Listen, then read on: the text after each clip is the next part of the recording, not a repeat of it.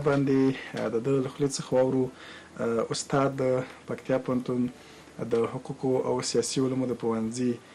د علمي کادر غړی دی او استاد دی، ماسټري یې هم له هندوستان له هوا څخه اخیستلې ده، اوس زموږ سره په خپرونه کې دی، په دې اړوند باندې به د غوره مشرۍ کتاب په اړوند باندې به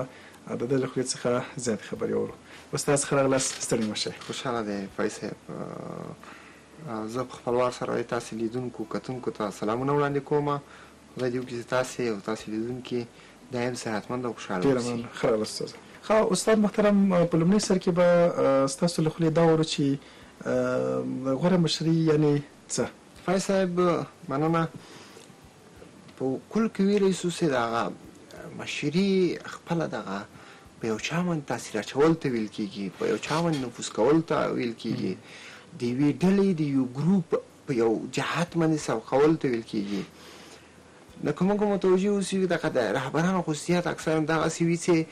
دغه یو ډله د یو خاص اهدافو لپاره رهبري کوي او دا رهبري خاص د دې لپاره وي چې چې دی یو مشخص اهداف ته ورسیږي په دغه اهدافو که په کل کې وګورو دغه لاندې کټګوري دغه عام خلک چې د دې رهبر سره روان دي دا خپله هم د دې ډله کې داسې فکر کوي چې په دې ډله کې موږ اهداف ته رسیږو کله چې دغه عام عام خلک دا فکر وکړي چې موږ په دې ډله کې چې روان یو یا د دې رهبر د چتر لاندې روان یو یو هدف ته رسیږو نو دا خپله رهبري ده. رهبري موږ ویلی شو چې نه تنها په په په کل د دې د مملکت په سیاستونو کې بلکې په وړکویو سطحو باندې موږ هم دغه سیاست تطبیقولی شو یا رهبري یا لیډرشیپ تطبیقولی شو. فیض صاحب که موږ وګورو د کور په سطحه باندې یا د مکتب په سطحه باندې یا د پوهنتون په سطحه باندې هم دا رهبري قابل تطبیق ده. یو مثال وي وایو